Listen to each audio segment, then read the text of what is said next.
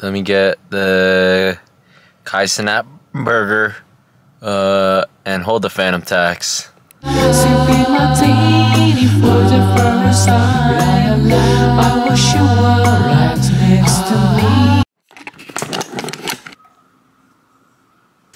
is gonna be the lighting. I'm kind of lazy to fuck with it, to be honest. Chicken Big Mac.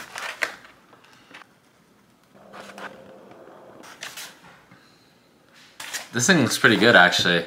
Oh shit. Yo, what is up? Yo, what? Yo, what is up? Yo, what is up, McNaish? So we have the, um, boom, McDonald's Chicken Big Mac. I think it's low-key kind of beautiful.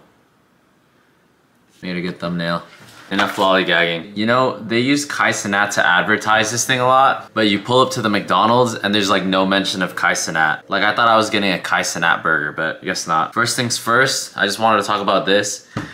It was $6. You might think like, you know, my first thought was like, why don't you just buy two McChickens, right? But I think the patty is different.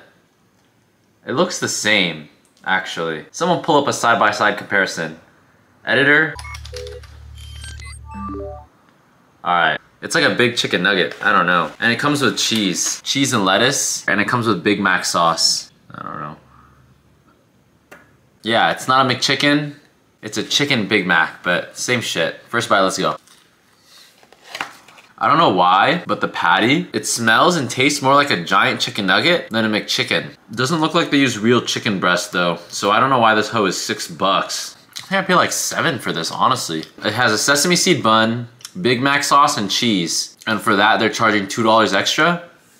I don't know about all that, man. I do like the salad what ends up on the bottom of these like um, Big Mac container boxes.